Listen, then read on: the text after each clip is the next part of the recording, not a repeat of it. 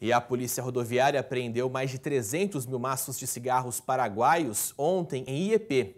Essa carga aí, pessoal, estava sendo transportada nesse caminhão, eh, no baú frigorífico desse caminhão que foi abordado pela fiscalização na rodovia Jorge Bacil Dauer. Os policiais contaram que o motorista apresentou uma nota fiscal falsa, dizendo que lá dentro tinha carne, gente. Mas na verdade estavam aí as caixas de cigarro. Essas caixas juntas estão avaliadas em 600 mil reais.